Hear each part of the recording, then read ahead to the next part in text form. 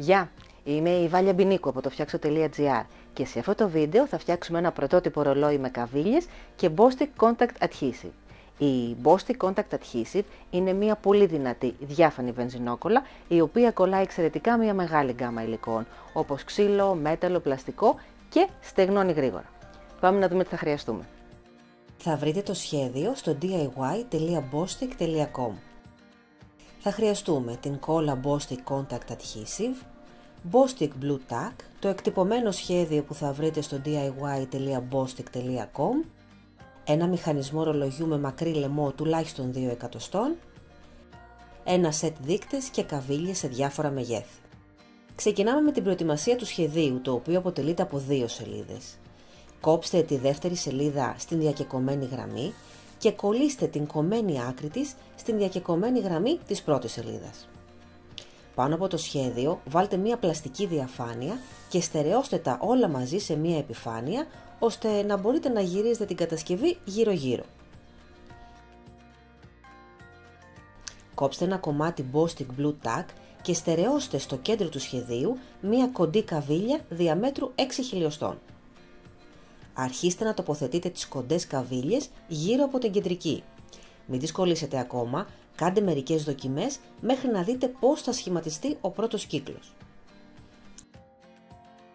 Ανοίξτε την Bostik Contact Adhesive και φέρτε κοντά σας ένα πλαστικό πιατάκι για να την ακουμπάτε όσο τοποθετείτε τις καβίλες στη θέση τους.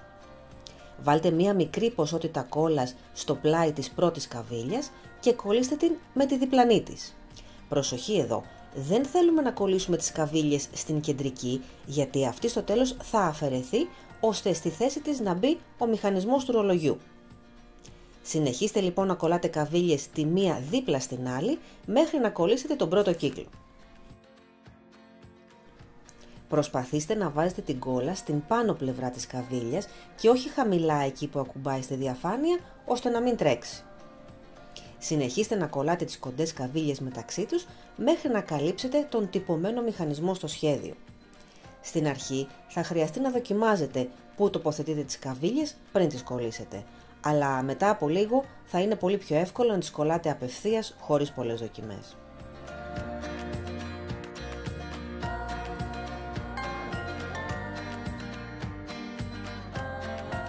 Όταν καλύψετε τον τυπωμένο μηχανισμό που βρίσκεται στο σχέδιο, μπορείτε να αρχίσετε να κολλάτε τις ψηλές καβίλες των 4 εκατοστών. Με αυτόν τον τρόπο θα έχετε δημιουργήσει μία τρύπα, ώστε να κρυφτεί ο μηχανισμός και να μην εξέχει στην πίσω πλευρά του ρολογιού. Βάλτε μουσικούλα και συνεχίστε να κολλάτε καβίλες μέχρι να καλύψετε όλο το σχέδιο.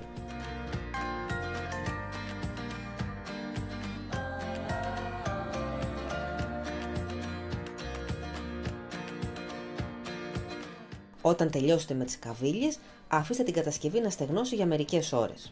Αφού στεγνώσει η κόλλα, μπορείτε να αφαιρέσετε το σχέδιο με τη διαφάνεια. Θα δείτε ότι ξεκολλάει αρκετά εύκολα. Αν έχει τρέξει κόλλα στην μπροστινή πλευρά, μπορείτε να την αφαιρέσετε με γυαλόχαρτο ή τριβείο.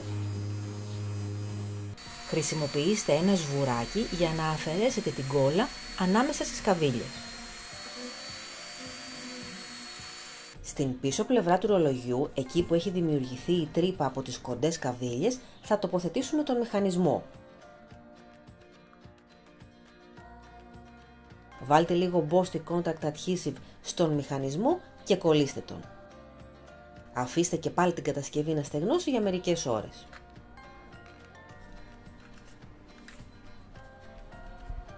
Αν θέλετε, μπορείτε να κολλήσετε νούμερα στις αντίστοιχες θέσεις τους. Χρησιμοποιήστε χάρακες για να τα ευθυγραμμίσετε.